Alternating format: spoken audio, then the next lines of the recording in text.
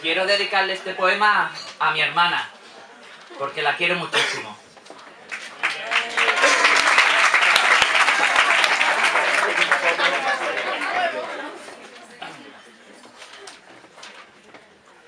Floret, Floret, te voy persiguiendo por todo el supermercado hasta la sección de cárnicos.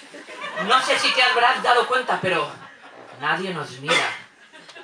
Floret, Floret, yo no ando.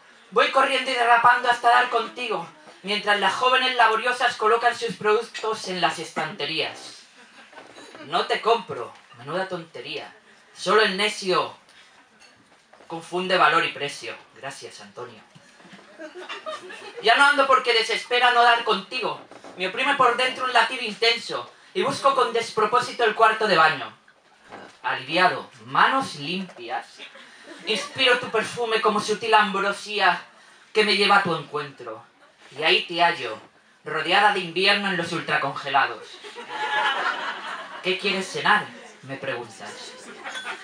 No lo sé.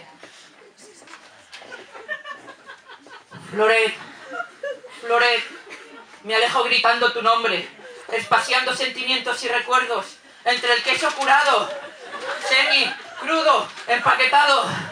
Si por lo menos me gustara.